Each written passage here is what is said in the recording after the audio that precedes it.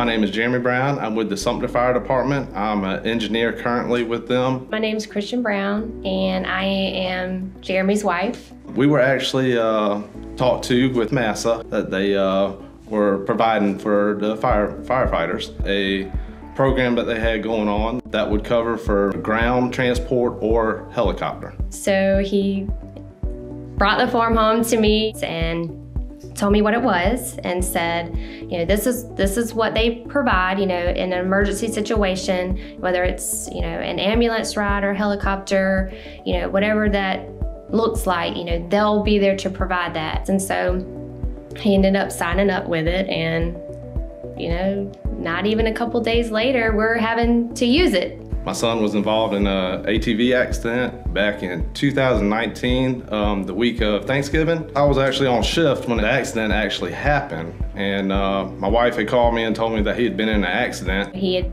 kind of wrecked his four wheeler. He seemed to be fine, and um, so I got to him as quick as I could, and by the time I got to him, we knew something was really wrong. Got him to the hospital and found out he had a ruptured spleen, and it was pretty bad. We needed to get him airlifted very quickly, and so Jeremy was able to get the helicopter in, and they had to fly him out and get him into emergency surgery.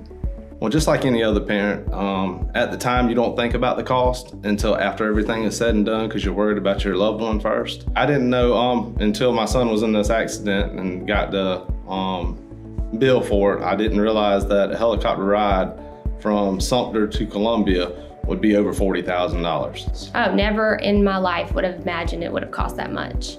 Um, I mean, I was just like, wow, it may have been 15 minutes, if that, to get him there. At the time of the accident, um, I really wasn't worried about the medical bills at that time. Um, but after a few months, uh, when they started coming in, I was just wondering to make sure that they're going to get taken care of. But with MASA, they took care of all the um, expense that my insurance didn't take care of of the helicopter ride. Um, I'm glad I purchased it, and uh, I would recommend anybody um, to go ahead and purchase this also. Especially if you got little ones. Uh, they play in sports, like to ride ATVs like mine did, and get in an accident, you just never know when it's gonna happen.